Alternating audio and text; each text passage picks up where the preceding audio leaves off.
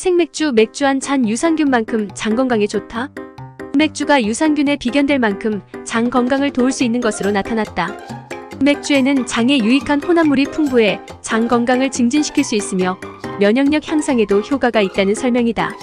중국 대련대학교 의과대학 학생 신뢰를 포함한 연구진들은 맥주가 인간의 생리적 기능 조절에 관여하는 필수 아미노산, 비타민, 미량원소 등을 포함한 것을 발견했다. 맥주에 들어있는 메가, 홉이라는 재료에는 폴리페놀이 함유돼 있다. 맥주의 폴리페놀과 다른 영양소들은 장의 외부 점막에 거주하는 미생물 군집에 의해 발효 및 분해되며 내부 점막의 미생물 군집과 상호작용을 한다. 이때 다양한 대사 산물이 생성되고 순환하며 항염증, 항산화 및 면역 조절 효과가 있는 미생물 군집이 만들어진다. 이들은 심혈관 질환, 비만, 당뇨병, 암, 신경병 예방에도 기여할 수 있다. 더욱이 연구진들은 맥주가 발효되면서 동반되는 화학적 변화, 맥주 제조 시 생성되는 생체 활성, 화합물 맥주에 포함된 미생물 등으로 인해 맥주가 프로바이오틱스와 효과가 유사하거나 더 클 수도 있다고 전했다. 프로바이오틱스란 체내에 들어가서 건강에 좋은 효과를 주는 살아있는 균을 말한다. 프로바이오틱스는 김치, 콤부차, 치즈, 요거트 등에 함유돼 있다.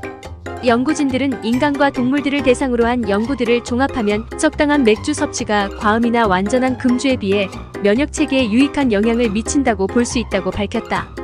하지만 권고량을 넘어서 과다하게 섭취할 경우 장염증 증가, 간 질환, 내독 소혈증과 같은 건강 문제를 불러일으킬 수 있으므로 주의해야 한다.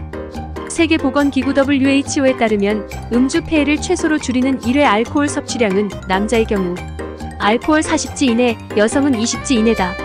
맥주로 치면 남자는 약 1일 이내, 여자는 약 500ml 이내로 마셔야 적정하다는 것이다. 하지만 소량의 음주에도 홍조와 같은 부작용이 동반되거나 기저질환이 있는 경우는 예외다. 맥주 한 잔이 유산균과 마찬가지로 장 건강에 좋다는 주장은 없습니다. 유산균은 장내에 유익한 세균을 증식시켜 장 건강을 개선하는 데 도움을 주는 반면 맥주는 다른 성분들을 포함하고 있습니다. 맥주에는 알코올, 탄산, 알코올 도수에 따라 다양한 양의 칼로리, 탄수화물, 단백질 등이 함유되어 있습니다. 맥주 속의 알코올은 과도한 섭취 시 장내 세균 및 소화 과정에 영향을 줄 수 있습니다. 또한 맥주 속의 탄산은 소화기관에 가스를 생성하여 복부 팽만감을 유발할 수도 있습니다. 그러나 맥주에는 일부 폴리페놀이 함유되어 있을 수 있으며 폴리페놀은 항산화 작용을 통해 염증을 억제하고 항균 효과를 가질 수 있습니다. 이러한 폴리페놀은 일부 장 건강에 긍정적인 영향을 줄 수 있지만 이는 다른 식품에도 함유되어 있으므로 맥주를 특별히 권장하는 것은 아닙니다. 장 건강을 개선하려면 다양한 식이 섬유를 함유한 과일, 채소, 온전한 곡물 등의 식품을 섭취하는 것이 중요합니다. 또한 유산균이 풍부한 요구르트, 발효식품 등을 섭취하여 장내 유익한 세균을 지원할 수 있습니다. 하지만 맥주를 장 건강의 유일한 해결책으로 보는 것은 부적절합니다.